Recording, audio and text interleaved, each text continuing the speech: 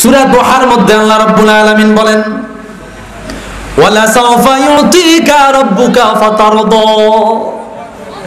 তাফসীরে তাবারির মধ্যে এবং তফসিরে কুরতুবির মধ্যে আল্লামা ইমাম কুরতুবি 20তম খণ্ডে বলেন, আল্লাহ সুরা দোহার মধ্যে বলেন নবী উচিরে আমি আল্লাহ আপনাকে এমন দান করব, এমন দান করাই করব, নবী আপনি সন্তুষ্ট হয়ে যাবেন। সুবহানাল্লাহ খান এ হাদিসে আয়াতের ব্যাখ্যা করতে গিয়া একখানে হাদিস নকল করা হয়।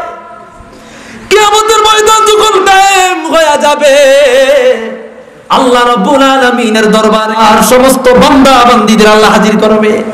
আমার নবী সিজদা বলায়া কাঁদতে থাকবে, আল্লাহ জিবরিলে পাঠাইবে, যা জিবরিল আমার রাসূলকে বল কি কারণে কাঁদবে?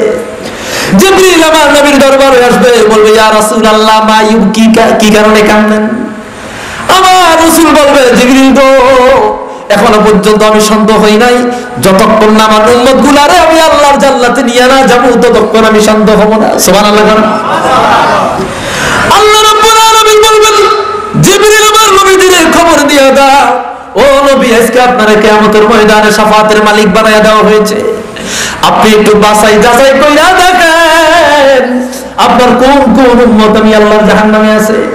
আমার রাসূল আকরাম সাল্লাল্লাহু আলাইহি সাল্লাম বলবেন, এতক্ষণ পর্যন্ত আমি নবী সন্তুষ্ট হব না, ততক্ষণ পর্যন্ত আমি নবী রাজি হব না, ততক্ষণ পর্যন্ত আমি নবী খুশি হব না, ততক্ষণ পর্যন্ত আমি নবী আনন্দ পাব না।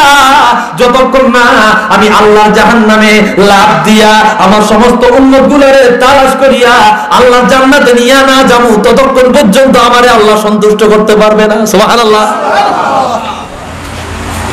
আমার নবী আলাইহিস সালাতু ওয়াসসালাম জাহান্নামের মধ্যে গিয়া উম্মতগুলা তালাশ করবেন।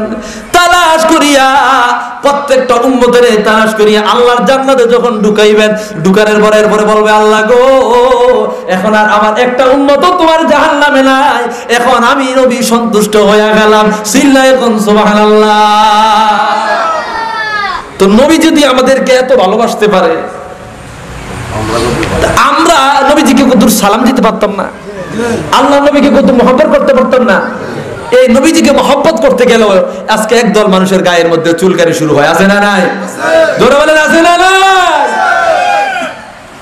নবীজি কত পাওয়ারফুল নবী, জানেন?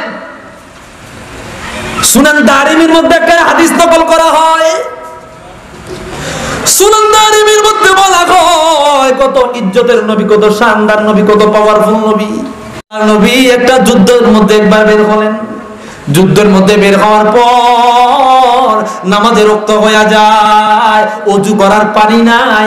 এক সাহাবীর কাছে মাত্র অজু করার পানি, অল্প একটু পানি আছে। আল্লাহ নবী অজুর পানি তালাশ অজু করার পানি আনা হলো। আল্লাহ নবী অজু করার পর অন্য অন্য অজু করতে পারে না।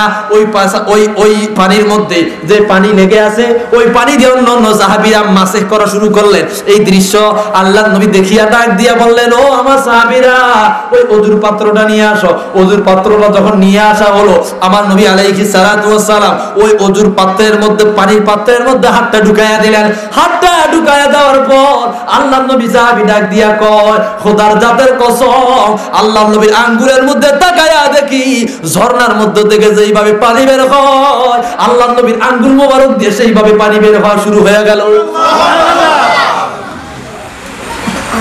নবী আলাইহিস সালাম বললেন আল্লাহকে স্মরণ করো আর এখান থেকে উজু করো। সুবাহ আল্লাহ নবীর সাহাবীরা প্রত্যেকেই মন ভরিয়া উজু করল আর পানি পান করল। সাহাবী ডাক দিয়া কয় তখন তোমরা কতজন সাহাবী ছিলা? কয় আমরা তখন মাত্র পনেরোশো সাহাবী ছিলাম। কয়শো সাহাবী? পনেরোশো সাহাবী আল্লাহ নবীর হাত মোবারক আঙ্গুল মোবারক দিয়া যে ঝর্ণা দিয়া পানি বের হয়েছে ঝর্ণার মতো পানি বের হতে লাগল। আঙ্গুল মোবারকের সেই ঝর্ণার মতো পানি দিয়া পনেরোশো সাহাবী উজু করল। সাহাবী ডাক দিয়া কয় সেই দিন যদি আমরা এক লক্ষ সাহাবীও থাকতাম তারপরেও পানি শেষ হইতো না। তারপর পানি কি হইতো না।